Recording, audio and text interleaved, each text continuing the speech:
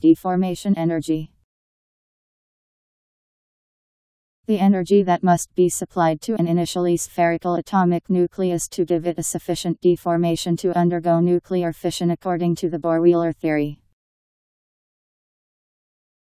D E F O R M A T I O N E N E R G Y Deformation energy